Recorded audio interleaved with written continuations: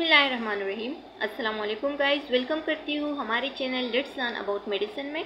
आज हम जिस ड्रग का रिव्यू देने वाले हैं, उसका नाम है पेपलवेट पेपलवेट कैप्सूल हमारे साथ ऐसे कैप्सूल्स होते हैं, जो कि ज़्यादातर लोग कमज़ोरी के लिए, जिस्मानी कमज़ोरी के लिए और स्पेशली ड्यूरिंग प्रेगनेंसी जो जिस्मानी कमज़ोरी आती है, खून की कमी आती है तो तब ये डॉक्टर रिकमेंड करते हैं। तो आज की वीडियो में हम फुल रिव्यू देंगे पेपल वेट टैबलेट्स के बारे में। तो आइए स्टार्ट लेते हैं। स्टार्ट लेने से पहले आप लोगों से एक छोटा सा रिक्वेस्ट है कि अगर आप हमारे channel let's learn about medicine पे नए हैं तो हमारे चैनल को सब्सक्राइब करें प्रेस द बेल आइकन ताकि नेक्स्ट वीडियो का नोटिफिकेशन बहुत जल्द मिल सके। वीडियो को एंड तक देखिए और अगर वीडियो पसंद आ जाए तो वीडियो को लाइक ज़रूर करें। चलते हैं इसकी इंटीग्रेट इंटीग्रेट की तरफ़। तो ये हमारे साथ आयरन और वाइटामिन की बनी हुई टैबलेट्स होती है। इसमें जो वाइटामिन पाए जाते हैं, वो वाइटामिन बी होती है और वाइटामिन सी होती है, ठीक है? वाइटामिन बी कम्प्लेक्स भी इसमें पाए जाते हैं।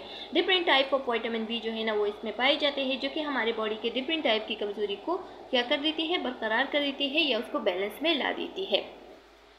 अब चलते हैं इसकी यूजेस की तरफ़। तो इसकी यूजेस जो है ना उसमें हमारे साथ एनीमिया आती है कि जब भी किसी पेशेंट को खून की कमी हो तो उस दौरान जो है ना ये टैबलेट्स बहुत ज़रूरी होती है और ये खून की कमी को कंप्लीट कर देती है।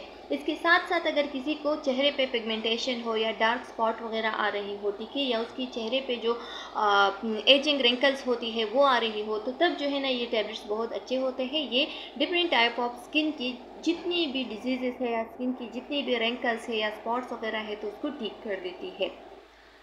अच्छा फर्दर इसकी जो यूज़ है वो नर्वस सिस्टम में है कि अगर नर्वस सिस्टम में कोई आ, मतलब किसी को कोई आ, आ, किसी को कोई इम्बेलेंस हो रही हो ठीक है या नर्वस सिस्टम की कोई बीमारी हो या नर्वस सिस्टम की जो है ना कोई कमज़ोरी हो तो तब भी ये टैबलेट्स जो है ना बहुत अच्छे होते हैं। स्किन के लिए बहुत अच्छे हैं और जो एजिंग पिगमेंटेशन होती है या एजिंग रिंकल्स होती है या स्किन की ग्रोथ नहीं हो रही है तो उस दौरान भी हम इसको यूज़ कर सकते हैं। अब इसकी आ, किस तरीके से हम टैक करें ठीक है?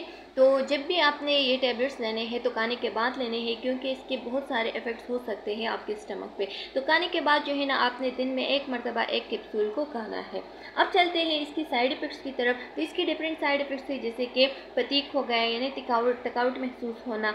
इसके साथ साथ तो जो सिकनेस होती है, यानी लोगों को ऐसा लगता है कि मैं बीमार हूँ ठीक है ऐसा महसूस होना, थकावट महसूस होना, इसके साथ साथ हर्ट बंद होना मतलब उसको लगता है कि मेरा दिल जल रहा है, ठीक है? मतलब स्टमक की जो डिस्टर्बेंस है, वो हो जाती है, ठीक है? बहुत ज़्यादा स्टमक डिस्टर्बेंस हो जाती है और इसके साथ साथ डायरिया भी हो सकती है। कभी कभार इतनी सीवियर एलर्जी या इतनी सीवियर जो है ना साइड इफ़ेक्ट्स हो सकती है कि सारी बॉडी पे रैशेज़ आ जाते हैं। तो यहाँ तक था हमारा पेपल वेट टैबलेट्स का रिव्यू उम्मीद है कि आप लोगों को पसंद आ गया होगा। फिर भी अगर कोई क्वेश्चन कम्प्लिकेशन है तो आप लोग कमेंट सेक्शन में पूछ सकते हैं। बहुत जल्द मिलेंगे नेक्स्ट रिव्यू में।